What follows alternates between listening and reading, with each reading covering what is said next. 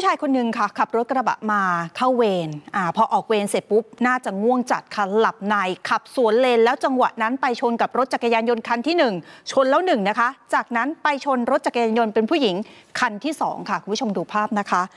นี่เป็นกล้องวงจรปิด คุณผู้ชมเห็นไหมวุฒิพงศ์คือขับกระบะนี่ มาชนกับผู้ชาอุ๊ยยตายแล้วอ่าหลังจากนั้นลากคือขับ อะเดี๋ยวดูช้าๆก็ได้นะ ขับมาแล้วชนสองคัน คันแรกคุณนัทพงศ์ขับมาเบนมาเลยนี่พุ่งเข้าไปแล้วบี้เข้ามาอยู่ใต้ล้อเลยนะคะ ขออภัยนะคะคุณผู้ชม หลังจากนั้นชนผู้หญิงอีกหนึ่งคน นี่คือเหตุการณ์ที่เกิดขึ้นนะคะ ที่จังหวัดชลบุรีตอนช่วงเช้าที่ผ่านมานี่เอง7จ็ดโมงครึ่งออกเวรพอดิบพอดี รถกระบะสีขาวนะคะ ไปชนรถจักรยานยนต์ของผู้ชายคนแรก สีเทาแดง แล้วก็ชนรถจักรยานยนต์ของผู้หญิง สีขาว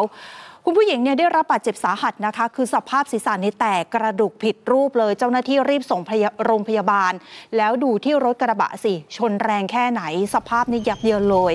ส่วนรถจักรยานยนต์อีกคันหนึ่งอยู่ตรงไหนล่ะเขาชนคันแรก อยู่ใต้ท้องรถค่ะ คุณผู้ชมน้องปาดค่ะ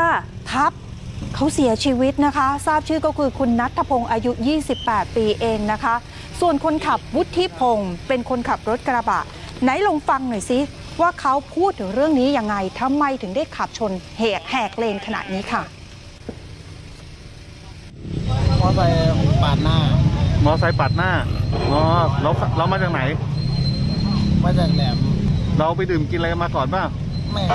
ไม่เลย แล้วเกิดเหตุการณ์นี้ขึ้นได้ได้ยังไงครับ หลับในหรือยังไงป่ะ หลับในครับอ๋อ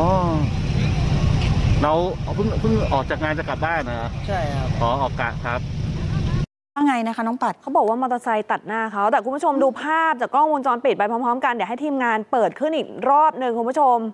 มอเตอร์ไซค์อยู่ตรงไหนล่ะคุณพี่ขาเขาก็มาในเลนพี่ขเป๋องเขามานะเห็นเห็นๆเลย เออนะคะแหลค่ะอะ เดี๋ยวดูอีกทีนะ ว่าตกลงหลับในหรือว่ากินอะไรเข้าไปหรือเปล่านะใช่คะค่ะ ยังคงต้องติดตามกันต่อเรื่องนี้นะคะคุณผู้ชมอะอัปเดต